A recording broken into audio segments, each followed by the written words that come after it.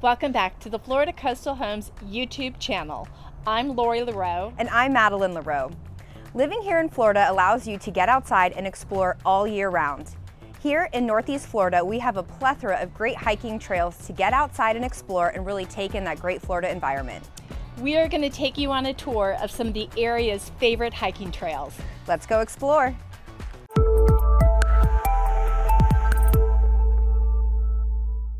Today we are exploring the Jacksonville Arboretum and Botanical Gardens. This is a nature lover's paradise. The Jacksonville Arboretum opened in November of 2008. It covers over 120 acres and features seven natural trails along 13 distinct ecosystems. While this unique place is conveniently located right off of Interstate 295, you never hear the hustle and bustle of the city once you're inside. Here at the Jacksonville Arboretum, their mission is to cultivate an environment of education, inspiration, and recreation. As you enter, you are greeted by the beautiful raised garden beds that are home to a colorful bounty of florals and herbs, where they maintain, develop, and interpret these plant collections for public education and enjoyment. Jacksonville Arboretum and Gardens is home to seven different hiking trails spanning across all 120 acres. They border Jones Creek and lead all the way to the Intercoastal. Each trail has something different to offer. There are the sandy dune trails and then there's also the marshy woodland trails. One of my favorite trails to explore is the Sand Trail.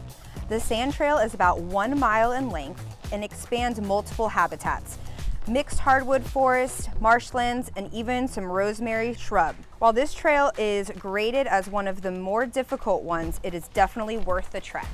One of the most popular trails here at the Jacksonville Arboretum is the Lake Loop Trail. It meets you right at the entrance, is a paved walkway that encircles a beautiful two acre lake. This trail gently descends about 25 feet from the foot of the lake and circles up a gentle slope on the opposite side to the trailhead. Along the way, you'll find educational signs with over 100 labeled plants. This is a super desirable trail also because it's handicap accessible and the easiest to navigate. The Jacksonville Arboretum and Gardens is more than just great hikes. We actually host customer events here and family gatherings as well. It's also a pet-friendly place to bring your cute little four-legged and do some exploring. This is truly a gem here in Northeast Florida. Thanks again for tuning in to the Florida Coastal Homes YouTube channel. We hope you've enjoyed this little insight on the Jacksonville Arboretum and Botanical Gardens. We actually want to know where your favorite place to hike is here in Northeast Florida, so be sure to comment below and fill us in on what your favorite spots are.